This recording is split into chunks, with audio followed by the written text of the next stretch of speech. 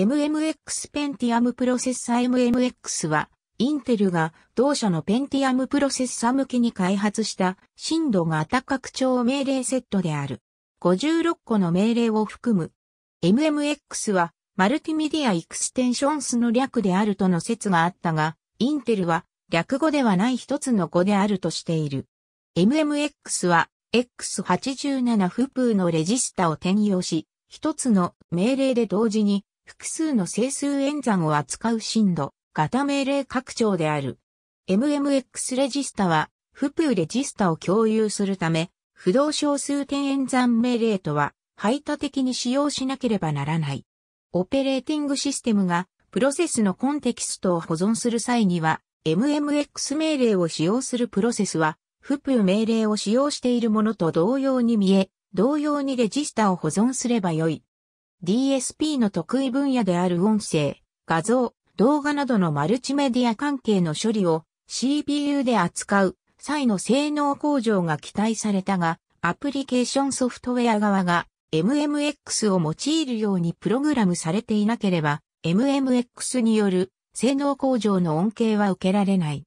後に専用のレジスタを使う SSE 命令セットが拡張され、より複雑なデータ処理や不動小数点の演算にも対応。実質的に MMX は不要となったため、インテルではアプリケーション開発の最適化にあたって MMX の使用を避けることを推奨している。SSE 命令搭載以降、命令の種類や処理能力で劣る MMX 命令は、主に過去の資産との互換性のみを目的に実装、提供されている。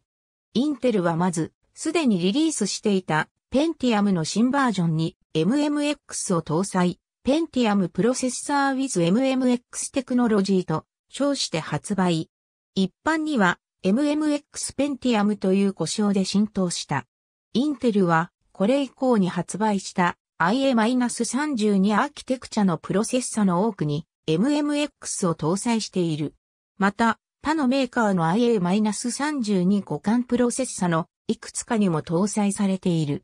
例えば、AMD の K6 などである。インテルは他社が MMX という名称を使用していることに対し、これを停止するよう求め訴訟に発展したが、最終的には各社間で和解した。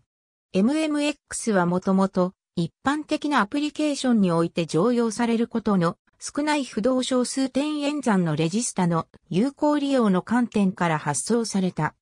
X87 命令と MMX 命令とを混在させる場合、最初の MMX 命令の実行時に必要な初期化が自動で行われるが、その後でまた X87 命令を実行する場合、その前に EMS 命令を実行して状態をクリアする必要がある。EMS 命令はペンティアムでは数十サイクルを要した。それぞれの実行におけるレジスタの状態は維持や保存はされない。他方、新たに専用レジスタを増やさず既存の X87 のレジスタを流用したため、コンテキストスイッチごとの新設レジスタのセーブなどのオペレーティングシステムのサポートを待つ必要はなかった。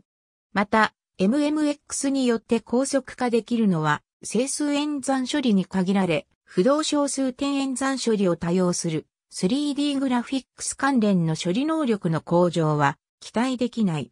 インテルと競合する AMD は、先んじて不動小数点演算も扱える、振動拡張命令セット3ラオを発表し、同社の K6 から2プロセッサに搭載。インテルは AMD より不動小数点用の振動命令セットの提供に遅れを取った。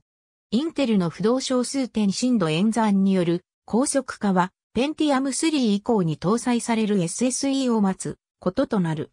ありがとうございます。